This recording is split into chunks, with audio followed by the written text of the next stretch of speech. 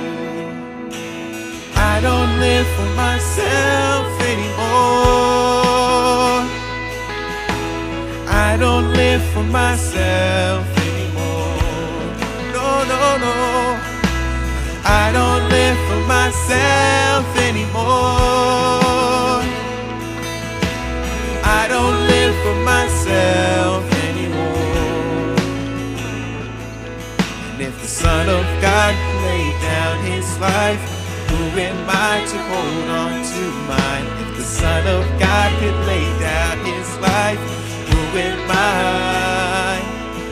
If the Son of God could lay down his life, who am I to hold on to mine? The Son of God could lay down his life, who am I?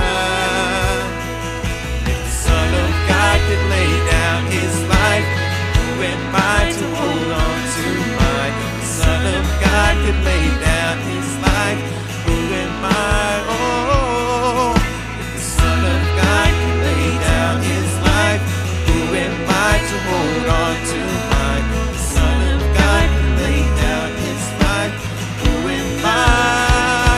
I don't live, I don't live for myself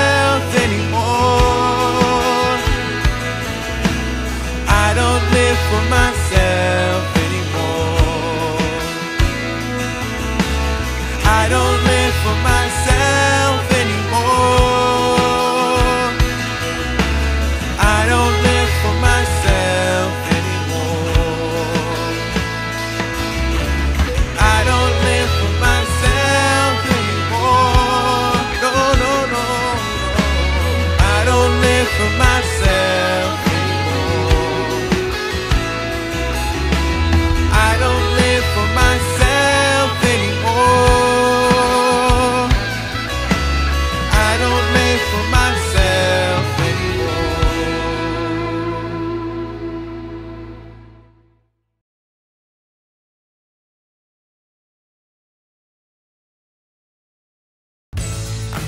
Hey there! Is today your first time here? Or maybe your first time in a while? If so, maybe you're wondering exactly who we are and what this church is all about. Well, we'd like you to know that we're a group of ordinary people who are on an amazing journey together, following Christ. Our guide is the Bible because it's the divinely inspired Word of God and it will never take us in the wrong direction. Along the way, we hope you'll see that we are welcoming and spiritually passionate, and that getting to know you is a big deal to us. We know that the road is rough sometimes, but we'll work really hard to bring you practical and relevant messages to equip and encourage you through life's ups and downs. We want you to know that we care about this community, and we believe that it's our job to make it a better place. So, no matter who you are or where you've been, we're glad you're here with us today, and we hope that you'll join us on our journey, following Christ and living out His plan for us. So, welcome to church. So Jesus said to those who had come to believe in him, If you remain in my word, you are truly my disciples, and you will know the truth, and the truth will make you free. But they answered, We are the descendants of Abraham. We have never been slaves to anyone. So how can you say we will become free? You see, they answered Jesus in the same way we might. I mean, we're Americans, right? We live in the land of the free. We sing songs about it. We get together and have parties and fireworks, all to celebrate our nation's freedom. But Jesus was speaking of a different kind of freedom, a freedom that can only be found in Him. He answered them, This is the truth. Everyone who chooses a life of sin isn't free. They are a slave to sin. A slave has no permanent place in the family, but a son or a daughter, they belong forever.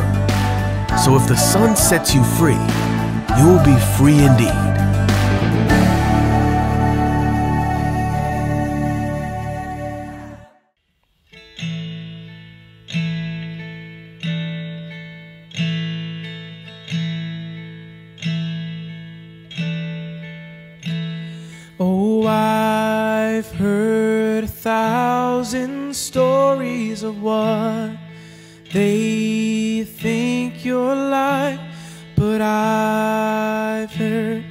The tender whisper of love in the dead of night, and you tell me that you're pleased in that I'm never alone. You're a good, good father. It's who you are. It's who you are. It's who you are. And I'm loved by you. It's who I am. It's who I am. It's who I am. Oh, and I've seen many searching for answers far and wide, but I searching for answers. Only you provide, cause you know just what we need before we say a word. You're a good, good father. It's who you are. It's who you are. It's who you are, and I'm loved by you. It's who I am. It's who I am. It's who I am. Because you are perfect in all of your ways. You are perfect in all of your ways. You are perfect in all of your ways to us. You are perfect in all of your ways. You are perfect in all of your ways. You are perfect in all of your ways to us. Oh, it's love so undeniable. I, I can hardly speak. Peace so unexplainable. I, I can hardly think as you call me. Deeper still as you call me. Deeper still as you call me. Deeper still into love. Love, love, you're a good, good father. It's who you are. It's who you are. It's who you are, and I'm loved by you. It's who I am. It's who I am. It's who I am. You're a good, good father. It's who you are. It's who you are. It's who you are, and I'm loved by you. It's who I am. Who I am. It's who I am. Because you are perfect in all of your ways. You are perfect in all of your ways. You are perfect in all of your ways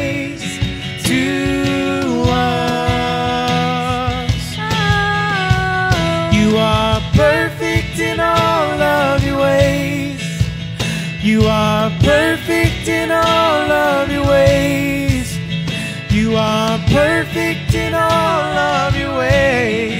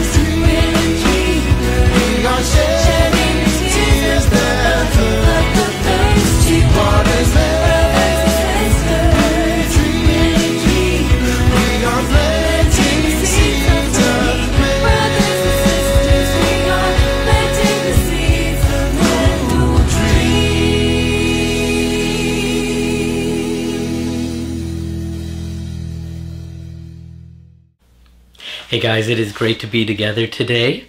I am excited about what God is leading us in as we go through some scriptures here. So let's uh, get our Bibles out, and I would appreciate it if you took uh, some notes. Um, this lesson uh, has has I think a little bit of substance, some things you may want to remember as we go through this, and I think are really applicable to our to our daily lives. So uh, let's jump in. Uh, let's turn our Bibles to Matthew chapter five. We're going to read 14 through 16 to start us off. And as we're turning there, I wanted to share something with you. It's just something that I love. I love riddles. I love riddles. I love figuring them out. I love having a problem and trying to determine what the solution is. And so um, I wanted to share a riddle with you guys today. And actually, it's a riddle I'm doing with uh, with one of our brothers. So if you'll if you'll just pause here and watch, I'm going to give the riddle. And as the riddle is happening, as I'm doing this with the brother, I'd ask just make some comments down below, uh, ask some questions.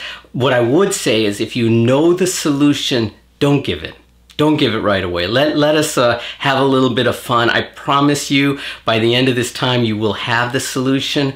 But for those of us who already know the solution, don't don't answer. Just keep yourself off of the computer, off of your phones, and don't don't put anything in the comments. But for the rest of us, let's comment. Let's let's look at what uh, what the riddle is and see how we go.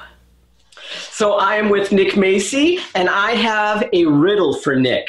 And so, Nick, welcome. Thanks for joining us today. So, Nick, this is my riddle for you. My riddle is you and I are, are climbing up a mountain, and, and we see a cabin. We enter the cabin, and we see two men who are strapped to chairs, and they're dead.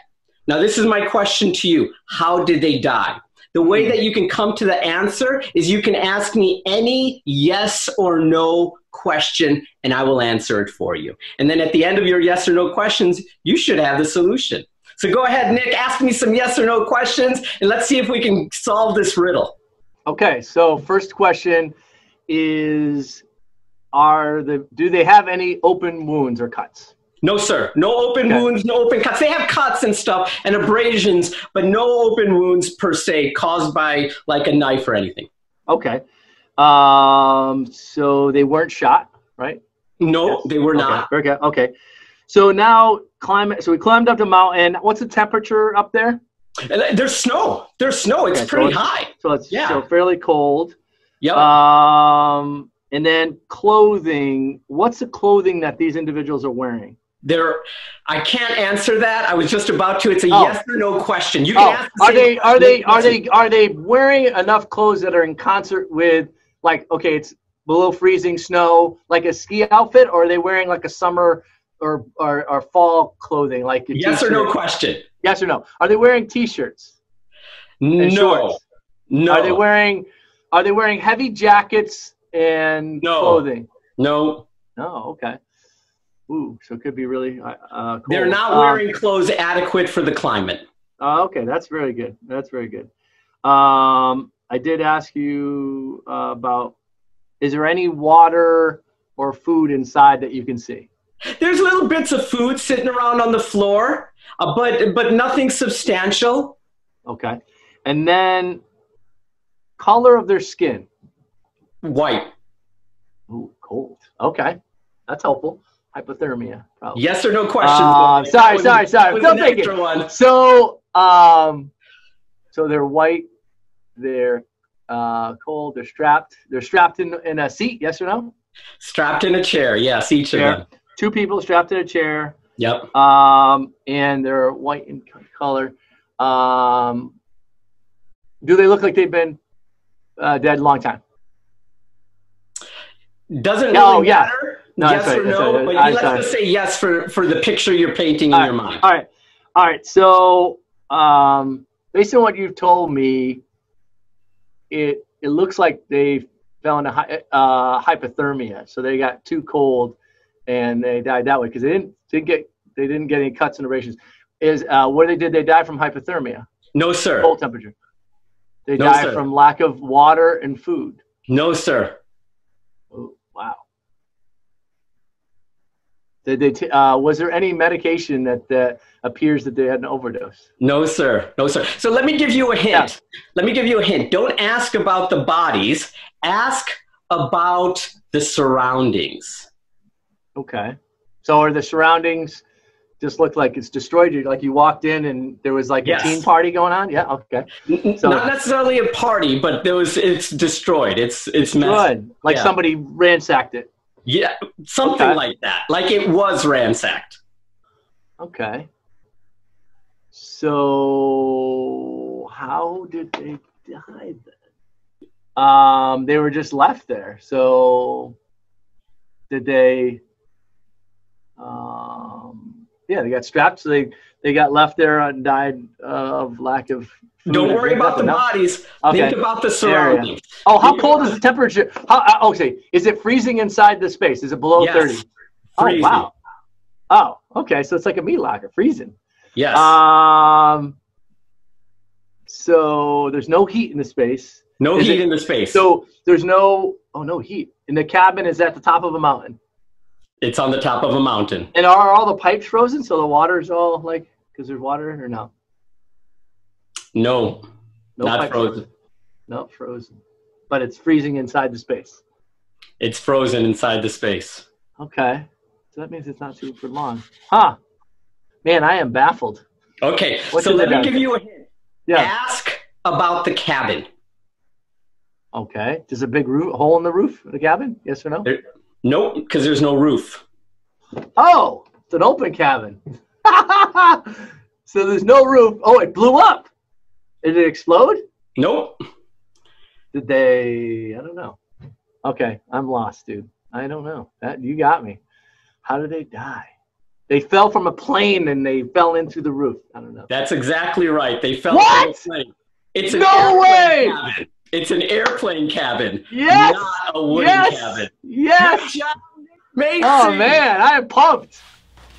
Nick, thank you so much for joining us today. It has been great having you. Thank you for engaging with the riddle. Um, like I was sharing earlier, I love, I love the idea of solving a problem, engaging with the problem. And uh, Nick and I uh, jumped into that riddle, and we're going to get back to the context and and and, and the, the details of that riddle here in our first point. But I wanted to set this up by helping us understand that that riddle itself was was right there. The solution was right there in front of him, and yet it was hard to get to. It was hard to get to. I would say that God gives us a way forward that helps us solve problems, deep problems. In the very beginning, God created man, He created woman, and He placed us in a garden. And a garden is, in, in the Hebrew world, is a place of order. It's a place where things are the way they need to be and should be, as they were intended to be. And man sinned, and man and woman were, were escorted out uh, of the garden and, and placed in the world. And in the world, there was there was chaos and, and sin as we see as it started with uh, with Adam and Eve. It went into their children into their relationships went into the family went into the community went into the city went into the nation and then went into the world. We see this evolution and this and this this, this sin created some really deep problems and we know the story of Christianity. We understand what it says that Jesus comes and he resolves the sin problem. He, he dies for us on the cross, and we're going to get to that. But he also leaves us, leaves the world an amazing solution. A lot of people, when I talk to them about Christianity, go, "Why isn't Jesus here? He could fix everything. He could fix the diseases. He could fix the the, the poverty. He could fix the social injustice. All of the problems the world is currently going through. He could fix." And I would say, I would say, he has left a solution here. Let's read in Matthew chapter 5 verse 14. It says, You are the light of the world. A town built on a hill cannot be hidden. Neither do people light a lamp and put it under a bowl. Instead, they put it on its stand and it gives light to everyone in the house. In the same way, let your light shine before others that they may see your good deeds and glorify your Father in heaven. The title of my lesson today is The Story of Two Solutions. As we know, and you don't have to go far to encounter it, the world is filled with problems. Currently, we have the pandemic, social injustice, racism, poverty. The world is filled with problems. And, and the greatest problem is the, the, the lost souls that walk the, walk the earth. And, and to, to deal with that problem, there really are two solutions. So the world puts out solu- uh, solution, and I think the world puts out r- some really good solutions uh, in, in in some cases, uh, and they use a certain foundation in dealing with the problem. That foundation cannot can be science, it can be emotion, it can be experience, it can be all sorts of things that they use to kind of buttress up their arguments and so- and and guide uh, social policy or solutions. And what we see is that that there's there, there can be some success with it. I think there can be some great success with it. But what I believe is happening is those solutions revolve around a broken and sinful world. And as a result, the solutions themselves become corrupt and are unable to unable to operate and operate well in, in the way that they were intended. God gives a solution, and He gives a solution that is elegant and, and yet requires so much. And that solution is the church. He leaves behind the church. He dies, he goes to heaven, sends down the Holy Spirit. In Acts chapter 2, the church begins. And this church's purpose was to be the representative, to be the hands, to be the feet, to be the mouth of Christ in the world, to go into the world and, and, and, and facilitate incredible levels of change and, and shifts within nations. This was the intent. This was his solution. The Bible says, You are the light of the world. He's speaking to the people. You all are the light of the world. You are meant to go in. And now, it must be understood. And, a lot of people assume, well, the church needs to be a perfect place in order to do that. And this is what makes it such an elegant solution. The church is constantly growing, constantly becoming bigger, and yet it's, it's filled with sinners. Now, they're redeemed sinners. Amen but they're sinners nonetheless. And so, what, what the church, the way the church is different than the rest of the world is by who they declare lordship to. The church declares lordship to Jesus, not to a, a, a, a, polit, political party, not to uh, an ideology. Not, it, it is to Jesus, who is the one they have given their authority, their, their, their submission to. It is Jesus. It is Jesus who leads the church. And so, if this is true, as broken as we may be, we can go into the world with confidence, knowing that, that, that God is going to work and that amazing things could happen as long as we keep Jesus as Lord. So let's turn our Bibles Let's turn our Bibles to Luke chapter 10. Amen? Luke chapter 10, we're going to read 25 through 37. Let's read. On one occasion, an expert in the law stood up to test Jesus. Teacher, he asked, what must I do to inherit eternal life? Now, many of us can go, oh, this guy's wicked for trying to test Jesus. But actually, in that time, there were a lot of people proclaiming to be the Messiah. And so, what, what the temple did, because they didn't want to miss the Messiah, is they, they created these little groups of teachers and, and, and, and lawyers, and they would go to these people who claimed to be And they would test them. And so we may look at this and, and you know, being on this side of history, we can go, hey, that was a bad thing that this that these people were doing, but really I'm not so sure it was. Uh, they were doing their job, which was to test Jesus and, and to determine whether he truly was the Messiah. Now, they come to the wrong conclusion, even though Jesus gave them all the right answers, but their intent was to was to really determine and and and be able to figure out whether this person was the Messiah. So they ask a question, and how does Jesus respond? By asking a question, which is really cool. Which is really cool. He goes, What is written in the law? How do you read it? And this is, I think, an amazing thing with Jesus and an amazing, you know, just example he sets for us because he could have answered this question. He could have answered it. But what he does is he wants dialogue. He wants a conversation. And instead of just answering the question, he asks a question that creates and facilitates a conversation. So how how is what is written? He said, "How do you read it?" He answered, Love the Lord your God with all your heart and with all your soul and with all your strength and with all your mind, and love your neighbor as yourself. You have answered correctly, Jesus said. Do this and you will live. And so they, they're starting a conversation here. They're, this is the beginning of a conversation. Jesus is asked a question. He asks a question in return to facilitate conversation. They begin this dialogue as this man answers it, and, he, and Jesus goes, You have answered correctly. Do this and you will live. Now, this is the problem. Do this and you will live. See, what was just stated, and we can overlook this, what was just stated, he answered, Love the Lord your God with all your heart, with all your soul, and with all your strength, and with all your mind. Love your neighbor as yourself. Do this and you will live. Well, you know, this lawyer, it just got personal. When Jesus says, You do this and you will live, it just got personal because guess what came to his mind right as that was being said? I've never, I've not done that.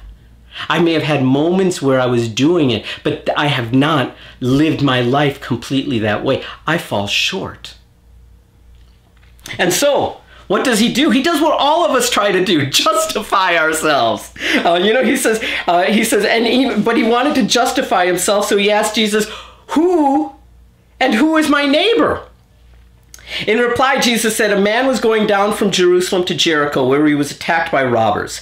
They stripped him of his clothes, beat him, and went away, leaving him half dead. A priest happened to be going down the same road, and when he saw the man, he passed by on the other side. So too a Levite, when he came to the place and saw him, passed by on the other side.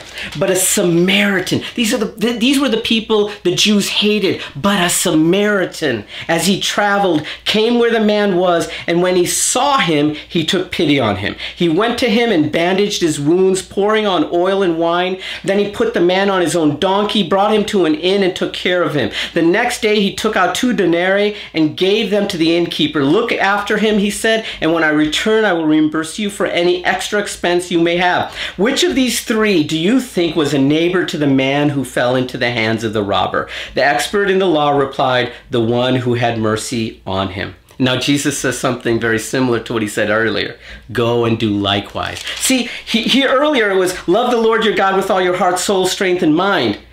And then Jesus says, You've answered right. Go and live this way. Go and you will live. Do this and you will live. And and the man's like, I can't, I, I can't possibly live this way. I can't love God with all my heart, soul, and mind, and my neighbor as myself. And so Jesus tells a story of a man that he, that he gives an example of doing just that. And he says, Follow the example of this man, and you will be living. You will be alive. You will follow that commandment. And so, this was the solution I believe that God gives us as Christians. This is the solution that He gives the world. And, and too often we get caught up in arguing, in fighting, in, in just simply just arguing about different things that we don't do what it says here. And so I want to put forth that there are two solutions. The solution the world gives, which I don't think is always a bad one. I think there's a lot to learn from it. Um, and, and some of them are really bad, some of them really bad solutions that the world gives. But the second solution that, that, that God gives is the church, is us. He asks us to be the light. What does it mean to be the light? It means to live like this man. My first point is definitions definition. So let's go back to Nick and I. So Nick and I were talking, I gave him a riddle, and, and the riddle was intentionally misleading. What did I do? I said, Nick, you and I were climbing a mountain and we ran into a cabin. And so what did I do? I created an environment, a picture for him, and when I used the word mountain, he immediately thought of a mountain, and then when I said the word cabin, he immediately thought of a wooden cabin, a cabin that would normally be on the side of a mountain. I could have said he ran into the hull of an airplane. I could have said that. I could have been more clear, but instead, uh, I used a word that intentionally meant two different things to him. And he adopted one meaning and lived by that one meaning. And this is the this is the first thing I think we need to do in order to be a solution in the world. And that is we need to have proper definitions. We need to have clarity in the language that we use. What did this man ask? This man asked Jesus, "Who is my neighbor?" He was attempting to gather clarity. And Jesus answers that question. I think he will always answer that question when we're looking for clarity. There's a lot of the pro- a lot of the problems in this world are so complex, so challenging, and they evoke so much of our own emotion and and the, and, and the stuff that is going on within us. And and what we need is clarity. We need to be clear not just on our position, but on what the situation looks like. And so, the first thing I think the Bible calls us to do as we attempt to be a solution for some of the problems in this world is to create clarity. What is the definitions for the things that are around us? So, I think as a church, what are some of the challenges? The challenges in this world are, uh, they all result in one thing, and that's division. They divide us. Poverty divides us. Social injustice divides us. There's the incredible levels of division that occur. And what we need to learn to do is define that division and then become bridges. The Bible calls them peacemakers, peacekeepers. We are to, we are to make peace with those two sides and help to help to bridge the gap between the two sides. That is our job. That is what we're intended to do. Is that easy? Not at all. Not at all. But we are meant to we are meant to be just that for the world. And so we need to number 1 be clear in our definitions. Collectively as a church, individually as Christians. How do we define neighbor? The world argues on this fact and and often i think it's misled because this this the, the definitions they give are ambiguous or not agreed upon. But pr- that's the that's the beginning of our conversations uh, in dealing with some of the larger issues with the world is we need to create clarity with the language that's being used. We need clarity. And so where do we get that clarity from? So the clarity i believe can come from a lot of different places. You know, I think there are very many wise men that have gone before us and, and they, they use, they, they've put in a lot of thought. They are able to produce some great definitions. I believe the greatest place, the greatest source of some of the definitions we need to be pursuing are within Scripture themselves. And we need to turn to the Bible to get definitions and, and be able to really be unified in, in, in, in how we manage it. So, what does it mean to be poor? What does that mean? Like creating definition for using scripture so that we can go into the world and engage it. Um, I was sent I was sent a a, a, a, um, a video this this this particular week by a brother. And in the video there's this man who's sharing and he's out he's sharing he's out just living his life and, and he was sharing with us that he ran into this man who was really poor. And so he, he went up to the man he goes money i can't give you but i can give you some food. And the guy goes i don't want your food. If you have some cash that would be great and so the guy says, No, I'm not going to give you cash and walks away. And in his mind, he's like, That guy didn't want my food.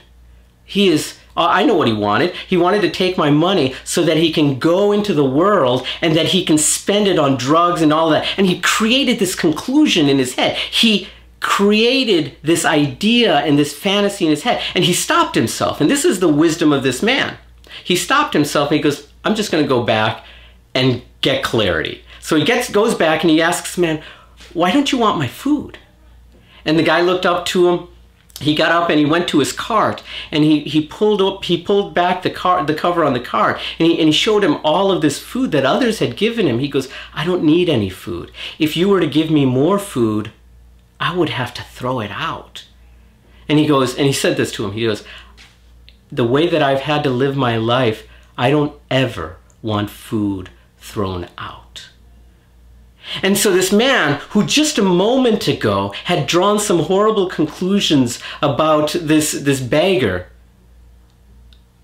had a revelation given to him. This man was actually more conscious of, of what was happening than he knew, than even he was.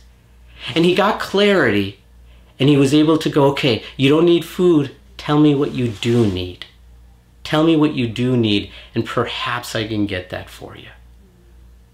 Maybe it's soap, maybe it's a bath. What, what, what do you need? And I'll see if I can get that for you. Do you see how the, the clarity, he, he was able to establish that clarity? It was very powerful. And, and I think we learning what it means to be poor. This man wasn't poor with food, he was poor in, in other ways. And he needed something else in that moment, and this, this, this other individual was able to help him. We, as we go into the world attempting to solve the problems, need to clearly define some of the language that we use. Number two, so we see this in the Good Samaritan. We see him, uh, you know, establishing some good, uh, establishing clarity. What else do we see? We we see something else. So uh, two men pass this this man who was just beaten by, and as a, a Levite and a priest, and they pass him by. They see him, and they go. It says he they went to the other side of the street, and they they went to the other side of the street to avoid him and continued on. Now, many of us think about that and think, man, that's terrible. These are religious men, and they went to the other side of the street and just left him there? What terrible people. See, this is what religion does. Now, before we go there, let's make sure we understand what exactly about that story is bad. So they went to the other side, but what we what we've got to understand is they didn't know whether he was dead or sick or what was exactly happening, and they were heading to the temple. And the temple was a place where they were going to service, uh, serve God and, and provide service for the people as priests before God. And if they had touched a dead body, uh, if they had touched some sort of illness, they were not permitted in there for a certain period of time according to the law. So they went to the other side to make sure that didn't happen so that they could serve God. And so that could seem noble, right? That could seem really good. I would even say that wasn't a bad thing. What was bad wasn't that particular piece. What was bad is they never provided any help. You see, they didn't necessarily need to touch him. They could have stopped and they could have called other people. They could have provided the money. They could have, but what they did is they, they walked to the other side, left, and they never thought about the person again. It was their heart. It was their heart. The priest and the Levite went to the other side to protect their religious service. It went and continued on and then forgot about this man. They could have stopped. They could have called others. Can you check on him? Can you make sure he's okay? Here, here's some money. Let's get him to an inn. They could have done all sorts of things. They could have gotten to their, their spot and, and sent people back to go take care of him. But none of that is reported in the story. All that's reported in the story is they go to the other side and move on. There's another man. And this is the this is what I think is key. There's another man, a Samaritan. We know, the Samaritans are hated. What's the first thing we see? And I think this is after we get clarity, as, as we get definition, as we clarify the definitions that we're going to be using, what else needs to happen? I believe we need to see the problems. We need to see. What does this guy do? He, he it says, he, he, as he traveled, he came where the man was, and when he saw him, he took pity on him. It was his heart. The first thing we need to do is see the people around us. We need to see the poverty. We need to see the social injustice. We need to see the things that are happening. And then when they become personal, when we see the men, the women that are affected by it, our hearts are changed, our hearts are moved. This man, unlike the priest and the Levite, this man, when he saw the, the body on the side of the road, he was moved. He had pity on him. It was about his heart. And that's where it needs to start. And for so many of us, we're so caught up in, in, in doing, we're so caught up in activity that what we don't do is we don't stop and we don't see the victims that are around us. We don't see the people that are hurt and hindered. And we can do that in many ways. We can we can look at a, a- man on the side of the street and go, well, he, he's probably made poor choices. He may be a drug addict. And we're we don't see him. We don't see him for who he is. Just like the man who was walking by and offered food didn't really see him until he stopped and had a conversation until he stopped and got some clarity. For us, I think we need to see the challenges and the problems of the world and not just at a, at this theoretical level not just at a cognitive level we need to see the problems of poverty in our face we need to see the people who are affected by it we need to sit down with the people affected by social injustice and we need to we need to uh, hear the, the pain we need to feel the hurt it needs to be a part we need to see the people in ways we haven't before. Our hearts need to be moved. If we are to be a solution to the problems of this world, this is the first part. This is what we need to do. We need to be traveling along when we need to see what is before us. And the Bible says, and I believe the Holy Spirit within us will move. And it says he took pity on him. Our hearts will be moved. Our hearts will be moved. We can do this. But we have to stop. We have to slow down. And we have to see not the problem at a theoretical at a level, but at a very personal level. And this is where I think social media and the news does not do us justice. We need to go into the communities. And I know that can be challenging in this COVID 19 time, but there are still places to serve. There are still voices to hear. There are still people to serve. There are still ways to give. And until we do, until we engage at that level, we're not going to be able to have our hearts moved. I was talking to a brother, really spiritual brother, and, and we were just being completely honest with each other. And he goes, I don't like elderly homes. I don't like hospitals. I don't like the smell. It just, it, it scares me. I don't want to be there. And so what ends up happening is this a result of that, you know, internal emotion that's felt he doesn't necessarily engage in those places. And then there was one day where he had to. And I saw how much his heart was moved and how much compassion came pouring out.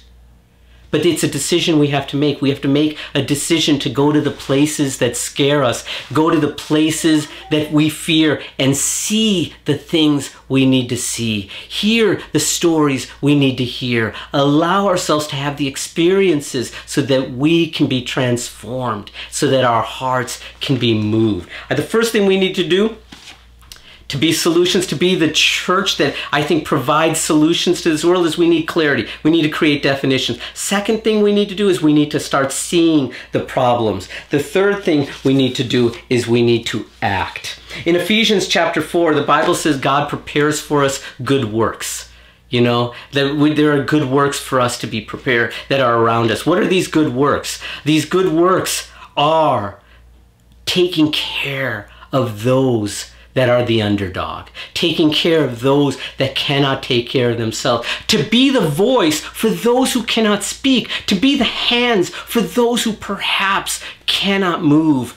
That's where the job of the Christian comes. Those are the good works that are placed. So what do we see the, the Samaritan do? It says his first his heart's moved. He sees him, he takes pity on him, and then it says he went to him and bandaged his wounds pouring on oil and wine. Then he put the man on his own donkey, brought him to an inn, and took care of him. The next day he took out two denarii, took him to the innkeeper, uh, and gave them to the innkeeper. Look after him, he said, and when I return, I will reimburse you for any extra expense you have.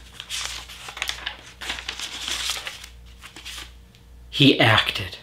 And I think there comes a time where we have to act. You you start by giving your heart. You, he takes pity on him. Second, he he he takes care of the acute needs, the bandages, the wounds the individual has. Then he puts him in his donkey and he takes him to a safe place takes him to an inn uh, that that that uh, would would protect him, and then he returns to see how he's doing. What do we see the Samaritan do? We see the Samaritan go through a process that I think is very intense, time-consuming, inconvenient, and very challenging. And yet he does it. And this is what the Bible says it is to be a neighbor. We have to have our hearts moved. We have to take care of the acute needs. We have to take the individual to a place of safety. And then we need to check on them and make sure that, that their needs and their, uh, their, their, their, all of their needs are being met. We see that. We see that within Scripture right here. This can't happen though if we go back to the first point, uh, the second point actually, until we see the people themselves. We need to see and have our hearts moved. What did this cost the man? This cost the Samaritan emotions. It cost him time. It cost him money. And it cost him his priorities. He had priorities. He had, to, he had a destination he was going to. He was greatly inconvenienced by at least a day to, to deal with this.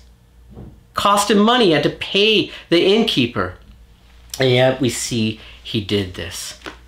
And yet, how do we live a life like this? How do we live a life where we can do this on a consistent basis? I've seen many people, they start off strong as Christians, serving the poor, uh, battling injustice, dealing with the needs, helping in such powerful ways. And then they get to a point where they're just exhausted. And, and I would say, I would say, we have been we have been brought to the end of ourselves. Lee Callan likes to tell me when I get to this point, he goes, Sajjan, how are we going to run with horses if we cannot run with men? He goes, get up. We can do this. And we are intended as Christians to run with the horses, to gallop, to be strong. And this is what, what I think makes the light in this world is this when we reach the end of ourselves, to keep going to keep battling, to keep giving, to not give in to bitterness, to not give in to anger, to not give in to callousness, to not give in to the stories we tell our own selves about the poverty, about the injustice, to not give in and to go back to the scriptures and be called to this space. And what gives us the power to do that? What gives us the power is what we saw in, in the very beginning. He answered, Love the Lord your God with all your heart, with all your soul, and with all your strength, and with all your mind, and love your neighbor as yourself. You have answered correctly, Jesus replied. Do this, and you will live. No human being on this planet has done that, except for one. And see, this is where the source of all of our energy is. This is what makes us different than just individuals who are moral and who have an ethical conviction. This piece right here, because there was one who loved God with all his heart, soul, and mind, all his strength. And there was one that loved his neighbor as himself, so much so that he gave himself up. Who was that neighbor? That neighbor was you and I. It was us. And Christianity teaches that Jesus on the cross dies for you and I. In Romans chapter 5, the Bible reads, get there.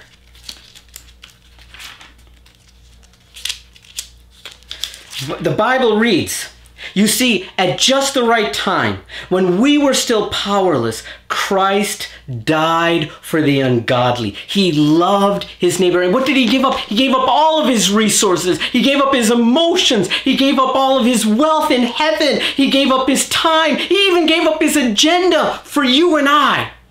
His priorities, his schedule for you and I. So that we could live You and I are the beggar on the side of the street. You and I are the ones that have been beaten up.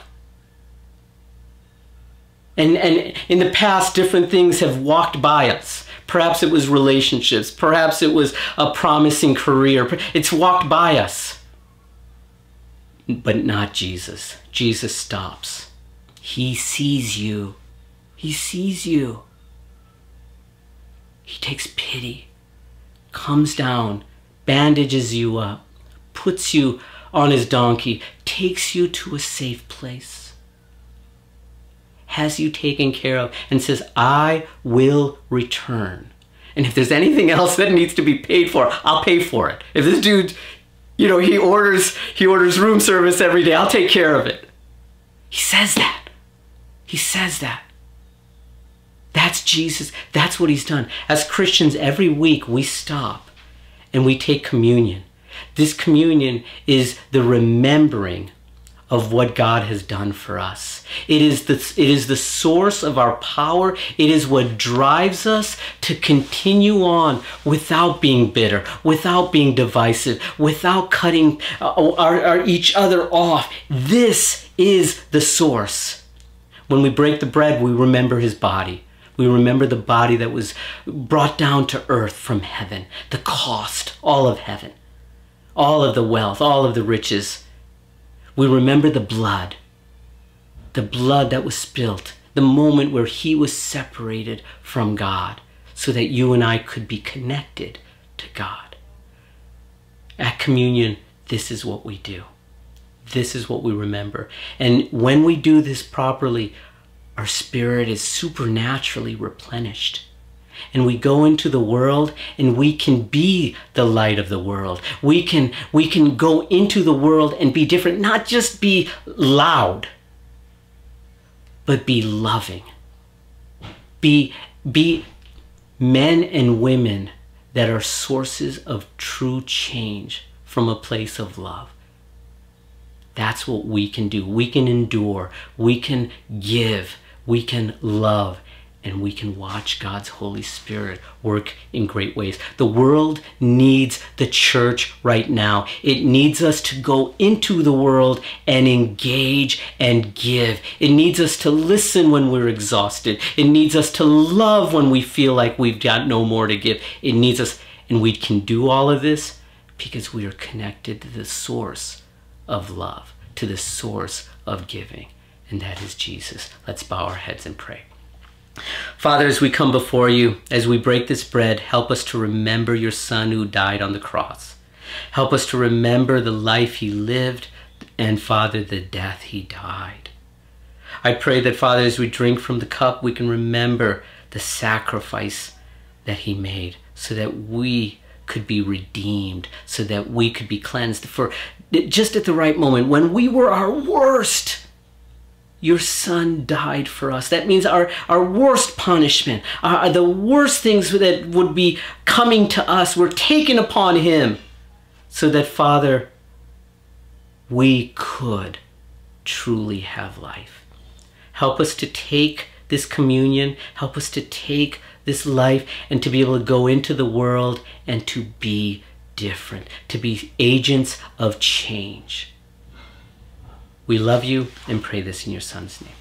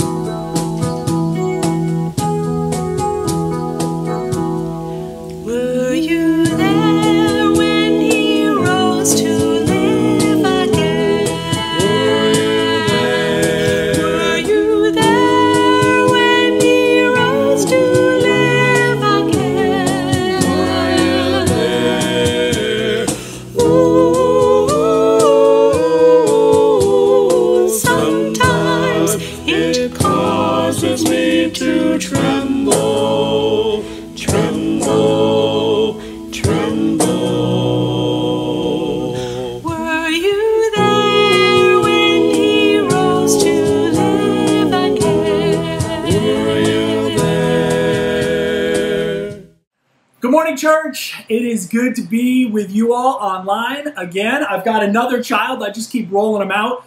Um, so I think I'm good for the next like 52 weeks. We, I have 51 other children here, so uh, this will be great. But uh, if you forgot what he looks like, this is actually Tyler Quist. He grew about six inches since last time we met, maybe three, but whatever. And uh, what we wanted to do is we want to talk about contribution, right? You're talking about it, or I'm talking about it? You. I'm talking about it? Yeah. I don't have anything. Do you have something? Yeah. Just kidding. So I was thinking about uh, contribution, and guys, it's been really excellent. I don't know if you guys have been kind of watching, uh, but uh, we have been really great about taking care of the church, and I know we've also been really great about taking care of others. And uh, if you are still in need uh, as a as a member in the church, I know it's very difficult to to ask for help uh, or to reach out, but please know there are many among us that uh, would like to help, that want to help. We've got the benevolence fund, which of course is just for for anyone that wants to come, but I, I know that's difficult. Um, but uh, there's also just a, a bunch of uh, men and women in the church that, that want to give and want to help and want to serve during this time. So if you find yourself, if you're in need, you know, please reach out to uh, maybe your small group leader. You could also always reach out to Galen Hardy. Uh, he handles that for us. One of the elders, Tom or uh, Sajjan, or you can come talk to me, any any of us really, and we would love to help you. Uh, and at this time, we we're thinking about contribution. I'm thinking about kind of the time that we're in. It's uh, July 4th, which is uh, somewhat of a, it's a, it's a celebration for many of us, and it's a time to remember. It's a time to remember the uh, the sacrifice that the country has made to kind of make it all that it is today. I know we've got obviously a lot to work on, and we will continue to be working on that for forever, probably. But uh, it is a great time to remember, a great time to remember what we uh, can represent for one another and for the world, which is a, a place of freedom. And uh, although you know we, we're talking about just a, a, a land of freedom, we really want to be offering people freedom, right? And that's freedom from sin, uh, freedom from sorrow and sadness. And uh, I think that we do a great job at this church trying to reach out to the Pioneer Valley, or even now we're online trying to reach out to the rest of the world saying, you know, there's another way, there's a better way, and that way is Jesus. And He is worth it, God is worth it, His kingdom is worth it. And uh, we just pray that uh, today, as, as we give and we do contribution, that uh, we can continue to build this church so that we can help others. And that's kind of the meaning of contribution today is remembering what we're here for is that we're here to build the kingdom. And that's within the body, but that's also out there uh, in the world, trying to bring people into Christ's body. Amen. So what we're going to do right now is we're going to pray. I'm praying. You're praying. You pray. I'm praying. Uh, I'm going to pray right now, and then we've got a couple of announcements. All right, you're doing all of them or some of them? Someone. Some of them. Here we go. Ready? We're praying. Uh, Father, thank you so much for this time. You're amazing. You are worth it. Father, we do this all for you. Uh, I know Megan and the women are reading a great book right now, the Summer Reading Club, and it really, Megan's been telling me a lot about it, and that uh, doing things because of you and for you uh, instead of just being with you, God. I pray that all of us during this time can be thinking about being with you. And I know that we're giving contribution right now, but it's still a time where we can set our hearts that we desire to be with you. And our money is not the thing that we're doing it for. And, and security and peace or all that has nothing to do with it. Really is I'm trying to make my life and help others to be one with you and to uh, lean on you, rest on you, and have a relationship with you. But Father, at this time, please bless this contribution, bless this time so we can continue the work, your great work here on earth in the Pioneer Valley. We love you. Pray this all in Jesus' name. Amen. Okay, so we do have a couple announcements this week, and one of them is oh, you got the first one? Go for it. Um, so there is a men's midweek on at 7 p.m. Sajjan has a great lesson for us. He does. Did you know that? You're doing it with him? No. Well, you're co-writing it? You're the ghostwriter for it. Kind of, he says. Next, we have uh, the board. We're going to announce the new board members. I think we've already announced it, but we want everyone to know that we've got a great board. The leadership team loves working with the board. The board really is the uh, the entity in our church. They have fiduciary responsibility, uh, which just means they're going to take care of and protect the church from making crazy decisions. And uh, that's what the board is. We love them so much for protecting us in that way and being so capable uh, to handle all the financial issues that, that come up, especially during this time of COVID. They've been really handling a lot of policy and procedure right now. Um, so the new members again are Barry Molitor, Patrick DeFalco, Becca Strozek, whoop, whoop, Youth and Family, and lastly, Don Smith. So very excited about those four. They are new board members. They actually are already doing a lot of work for our church. Amen. Uh, next, we have the Morning Brew. Morning Brew, again, that's every morning, Monday through Friday, and then we do an extra one on Saturday. It really is a way to stay connected. It's a way for us to have our ligaments, but that is one way to communicate and fellowship online in the morning. Please join us with that. Next week, we're going to be starting a new series on Matthew. Matthew. Uh, so we're excited that uh, we'll, we will be doing that, kind of transitioning to a new topic. We do pray that everyone can continue to join with us during this time. Uh, so that's it for announcements. We love you so much. The Quiz love you. We miss you. And we can't wait to see you soon. Bye. Bye.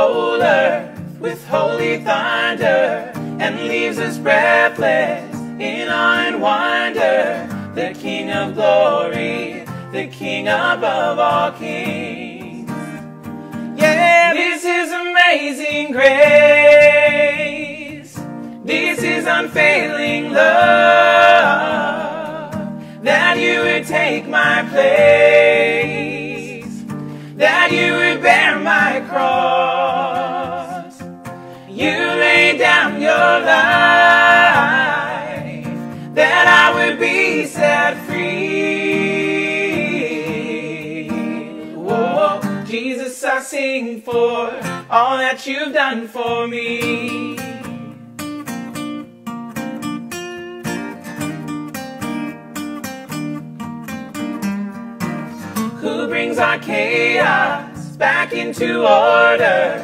Who makes the orphan a son and daughter? The King of glory, the King of glory, who rules the nations with truth and justice, shines like the sun in all of its brilliance. The King of glory, the King above all kings.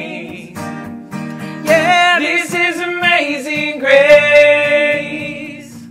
This is unfailing love that you would take my place, that you would bear my cross. You lay down your life that I would be set free.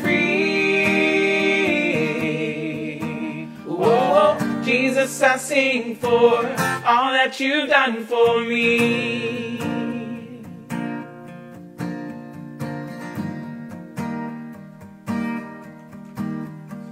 Worthy is the Lamb who was slain. Worthy is the King who conquered the grave. Worthy is the Lamb who was slain. Worthy is the King who conquered the grave. Worthy is the Lamb who was slain. Worthy is the King who conquered the grave. Worthy is the Lamb who was slain. Worthy, worthy, worthy. Oh, this is amazing grace. This is unfailing love that you would take my place, that you would bear cross. You laid down your life that I would be set free. Whoa, Jesus, I sing for all that you've done for me.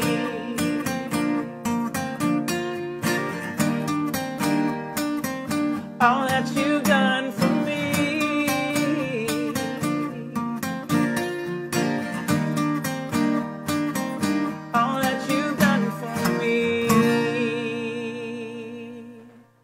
What do you think?